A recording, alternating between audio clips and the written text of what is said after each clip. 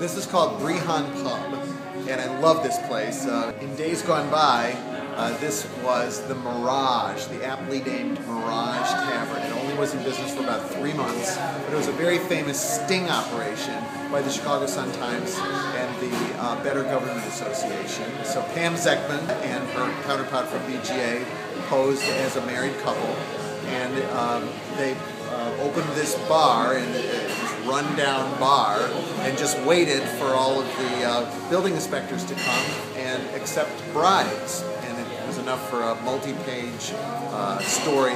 They built a perch. They, they put a wall up there and they, they put a hole in the wall.